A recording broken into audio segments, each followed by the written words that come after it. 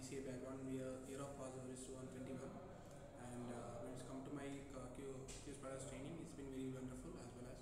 So I choose Q, Q Spiders BTM as uh, I knew one of my colleague here, and as well as uh, I, came to know that uh, teachers as well as the HRs are cooperative as well as supportive. So I chose Q Spiders BTM other than other branch and here come to uh, where it comes to the uh, trainers they always uh, always been helpful when it's come to manual testing, SQL, Java, or Selenium. They always been helpful as they help us to you know uh, get us through uh, uh, interviews. So I will always help them. Yeah, I always uh, thankful for them all the preparation they gave me and all the support uh, they gave me to this. And uh,